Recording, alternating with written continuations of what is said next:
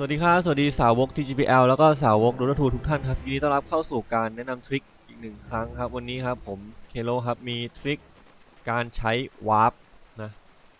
มาให้เพื่อนๆได้รู้กันครับสำหรับเพื่อนๆที่ทราบแล้วก็ขออภัยไว้ด้วยครับสำหรับเพื่อนที่ยังไม่ทราบเดี๋ยวเราไปดูกันครับว่ามันมีวิธียังไงครับ ก่อนอื่นผมต้องขอบอกก่อนว่า การวาร์ปของ Dota 2ครับ มันถ้าเพื่อนคนแรกวาร์ปลงตรงนี้ครับคนที่สองที่จะมาวาร์ปลงครับ เวลาในการวาร์ปครับ มันจะเหมือนกับว่าหน่วงกว่าไปอีกครับอย่างสมมุติว่าคนแรกวาร์ป4วิ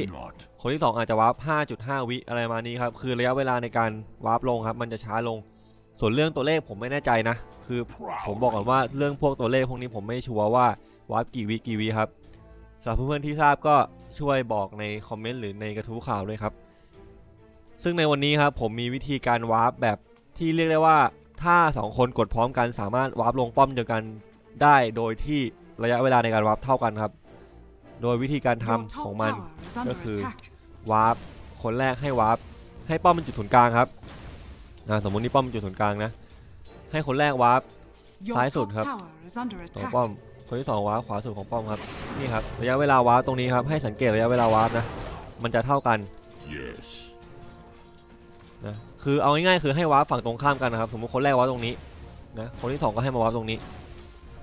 สมมติคนแรกวาร์ปตรงนี้ คนที่สองให้วาร์ปตรงนี้ครับ ระยะเวลาในการวาร์ปครับมันจะเท่ากัน หรือเรียกง่ายๆก็คือให้วาร์ปฝั่งตรงข้ามกันนั่นเองนะวาร์ปนี้ครับทริคนี้นะมันมีประโยชน์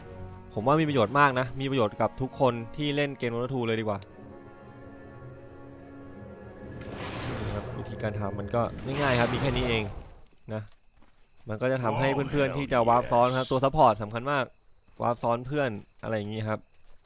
วาร์ปซ้อน carry วาร์ปช่วย carry ครับให้ carry ฝั่งเราไม่ตายแล้วก็ fight สร้างความได้เปรียบให้กับทีมนะโอเคครับ วันนี้สำหรับทริคนี้ผมก็ขอจบลงไว้แต่เพียงเท่านี้ครับสำหรับในครั้งหน้าผมมี